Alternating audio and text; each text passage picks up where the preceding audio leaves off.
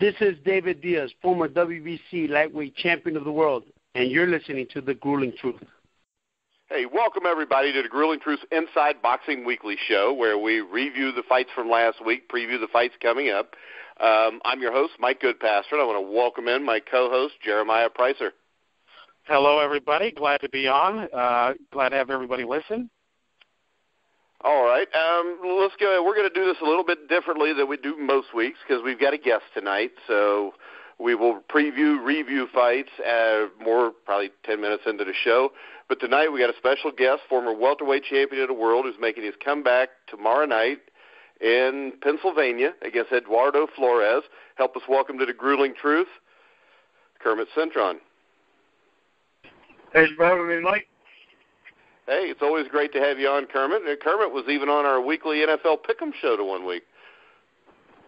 Oh yeah, big football. Yeah, fan, you know huh? what? How, how, how did I how did I do? I, I didn't even know whatever happened to my my stats. I don't know. I don't think any of us did too good that week, though. So that's why I don't think anybody No. brought it up. If Oh, you don't well. hear us bring it up the next week, that means we all sucked. oh, I guess so. Either that or you Brush kicked our ass and we didn't want to bring it up, so you never know. But um, tell us a little bit about tomorrow night. It's your first fight in two years. I think you're fighting in your home state. Just tell us what went into the preparation, and I'm sure you're ready to go for tomorrow. Yeah, I'm, de- I'm definitely ready for tomorrow. I'm excited, you know, just to be back. Um, like I said, it, you know, it's been two two years uh, since I fought, and that's just because of uh, you know, it's a hand injury that I had to get surgery uh, and needed some time to really heal uh, in order for me to uh, continue my career. So um, that's why it's been out for two years. Um, but you know, the preparation went very well.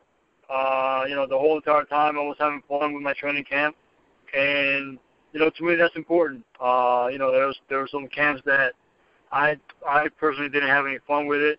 Um, you know, and I think you know your job should be fun as well, not just you know everything has to be serious. Uh, so you know, it kind of helps out the fact that you know I want to train.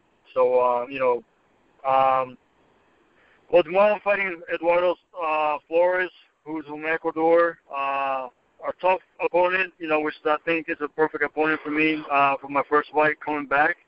Um, I believe he's like 23 with like 20 losses, 23 winning, 20 losses, something like that, with like um, I don't know, 16 knockouts. I'm, I'm not sure exactly uh, his record, Yeah, I think but it was uh, like 20, 23 and 20, two draws and like 15 or 16 KOs.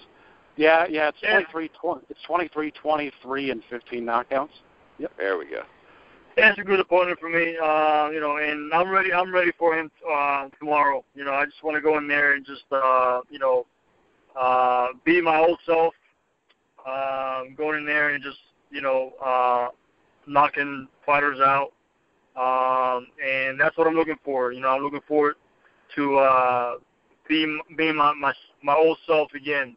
Uh, from like the early days of my career, where I was just coming in there and just uh, you know uh, pushing the opponent back and you know and just throw my shots, you know, uh, and and and you know now now that I'm hoping for the knockout, I know that the knockout will come. I just have to you know just go in there and just let my hands go. All right, Jeremiah. Yeah, very nice. Yeah, I've noticed that uh, Flores. Uh, he's actually fought quite a good number of people. Like he's he's fought Junior Castillo and Alex Saucedo, uh, Evge- oh, geez, how do you say the name? Evge- Kavilovskis, uh, Kanat Islam, Diego Chavez. Uh, I was just wondering, what exactly is your plan going into the fight? Is it, you know, as a tall guy, you know, you're 5'11", 6 foot. Uh, I take it as it is it just a jab, work behind the right hand, you know, utilize the hook every now and then. I'm just gonna smack him with my jab, and I'm gonna do. You know, he's a short, uh, short guy. You know, he's five six, so you know, definitely gonna be using my jab a lot. Um, and you know, just just uh, follow up with uh, some hard shots. You know, uh, you know, everything, everything's gonna come come after my jab. You know, my jab is, is the first thing, and uh, you know, set everything up from there. All right, now your weigh-in was uh, just a few hours ago. Would you weigh in at? Are you comfortable at the weight, and do you plan on staying there in the future? Uh, I ended up uh, weighing at 153.9, uh, almost 154. Uh, I mean, it, the contract was for 154 plus one. Um, you know, I, I feel good. Uh, but you know, I'm not sure if this is where I want to stay or do I still want to, you know, work my way down to uh, the welterweight division, which is 147. Uh, we'll, you know, we'll we'll see how I feel tomorrow uh, during the fight and, and after the fight. Um, but right now, I feel strong and just, you know, just excited. I mean, just uh, I feel light, fast. Um, you know, mentally, I, I feel great. I, you know, I'm, I'm focused. Uh, so, you know, definitely uh, excited for tomorrow.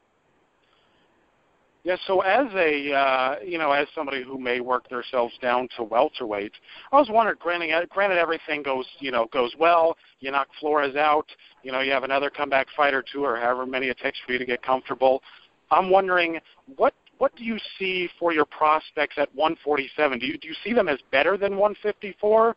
Uh, you know, because 150, 147, you know, it's pretty it's pretty loaded with talent. 154 is you know, it has some good fighters as well. What what do you see as as the most pro the most promising avenue of success? Um, honestly, uh, you know, I, I'm just gonna take it a fight at a time. Uh, you know, just uh, like my next fight, you know, I would want it to be, uh, you know, anywhere 150, 151, uh, and just to, you know, just again, just to see how my body feels, and you know, and the following fight after that, you know, make it at 148, 149, you know, and just, and just go from there.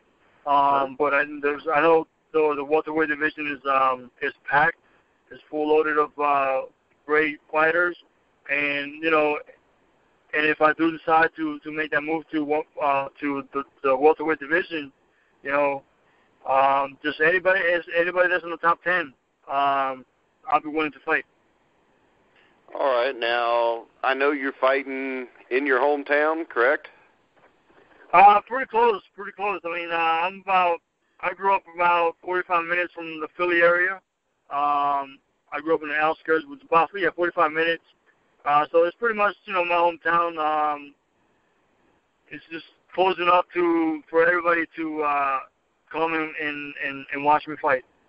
So, do you think that fighting in your hometown is an advantage or a disadvantage? Because I know I've heard a lot of guys say that the adrenaline gets pumping. Sometimes you do things you wouldn't normally do. Um, what's your take on it?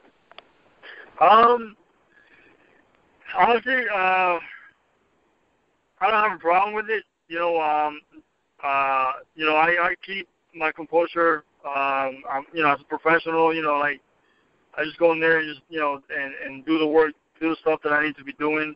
Um, you know, yeah, it does ex- get exciting at times, uh, but for the most part, you know, I keep my composure and you know, and just uh, follow the the instructions that uh, my trainer has has me doing, you know, wants me to do. So, uh, you know, I stick to to my plan. So uh, it shouldn't, you know, it shouldn't be too crazy. Uh, you know, I'm sure that in, walking in to the ring it'll get crazy, but you know, when I hit that the when I step in the ring, you know, my composure is, is focused on, on what I'm supposed to be doing, and uh, you know, that's just how I take it. So, assuming that you train around the Philadelphia area, is uh, you know, are those still those gym wars still going on? Uh, you know, is it still like it was back in the day? Um, definitely those those wars, uh, gym wars are still going around. I mean, uh, I had um, uh, Chris, Christopher Brooker, who is the main event on his car, he's from Philly, uh, came to my gym and we sparred ten uh, hard rounds from the from the first round to the tenth round. It was very competitive, and uh, you know it was just, it was hard. I mean, you know, harder for me because you know um, I'm a, I'm a lot lighter than he than he is. Uh, he fights at 168. You know, I fight uh, anywhere between 47 and 54. You know, so it's uh, you know, when we're getting ready for fights, you know, we're not walking around 54 or 68. You know, he's up, he's up there at least 190. So, uh, you know, uh, I'm pretty much was sparring uh, cruiserweight, and again, you know, I believe those gym wars still go, happening in the, in the in the in the city of Philadelphia. All right. So, who's your promotional team now, and who's your trainer? Um, my promotional team now is uh, Marshall Kauffman, who who was uh, my trainer at one time uh, in the beginning of my career when I was uh, 20, 24 0 uh, with 22 knockouts um, before I lost to Margarito. Um, and uh, now, um, my trainer is Joe Pastor, who was uh, you know another guy that was uh, my strength and conditioning coach uh, with uh, Marshall Kauffman, who is my promoter now. Uh, so Joe is now um, he's the you know he's the head trainer now. Um, so I, I have my pretty much have my my team back now. It just it just now that my uh, Marshall Kauffman he's just playing the role as a promoter, and Joe is taking over to the head trainer uh, job. Yep. Sorry. Sorry about. Yeah. Um. So at 37 years of age, that's how old you are, correct? 36. 36. All right. How Don't is be how adding is, years on, Jeremiah. Hey, I'm s- I'm sorry. I'm sorry. I'm thinking. I, I'm reminded of my bir- I'm reminded of my birthday coming up. So uh, uh, I'm just adding years to everybody else's life because I want to be younger. I was just wondering, how is training at 36 compared to when you're, you know, 26? Is it harder? Do you gotta, you gotta work that much harder to get the weight off, or does, you know, just does it come naturally to you? Uh, you know what? Honestly, it came. It comes natural to me. You know, um, I know uh, for a while I was um, up to 176, 177. Um, you know, the whole entire time that I was like, you know, just uh, just going to the gym and just keep keeping myself in shape. Um, but as soon as I hit, you know, I got that that fight um, six weeks ago. You know, it just seems like my body knows right away, you know, when it's time to drop weight and stuff like that. And um, I have no problem making the weight. All right. And, well, you know, hey, I don't- wish you. I mean, I train. I still train. I still train as hard as I did when I was 19, 20 years old, and uh, you know, and I feel good. Well, um, we wish you nothing but the best of luck. Hopefully, you'll come on after you win this fight, and maybe next week, and tell us how you broke this guy down in like a round or two. Um, so we definitely wish you the best of luck. Now we're going to go ahead and start our preview for the Canelo Alvarez Amir Khan fight.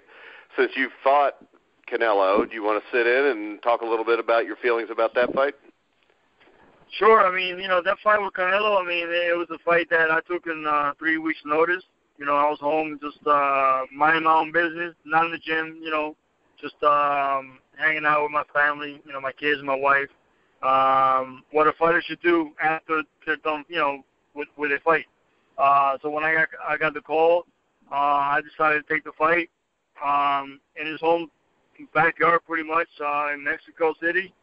Uh, fought him fought uh, Canelo in I want to say a ring that was maybe 50 by 15 at the most. The ring was real small. Uh, it was it was it seemed to me like I was fighting in a uh, phone booth. Um, but you know it was a hard fight. Um, you know Canelo.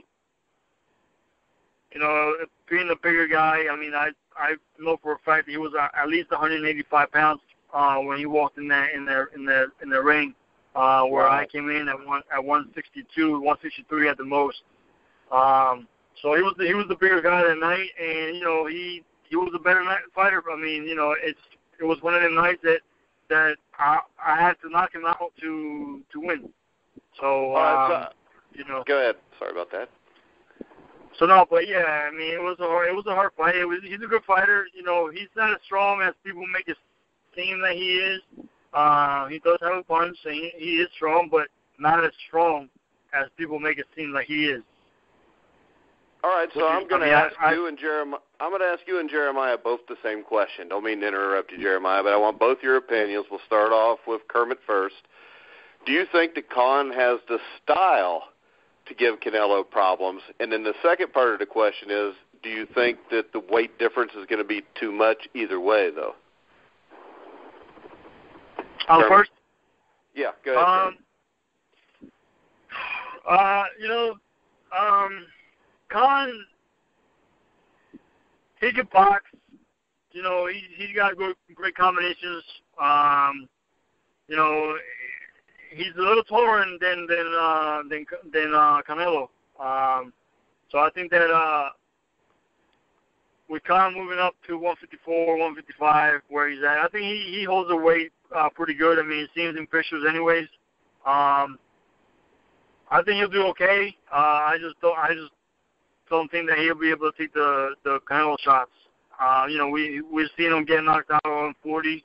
We've seen him get knocked out at 147. So, um, you know, I'm I'm not sure if I actually want uh, if I want to watch the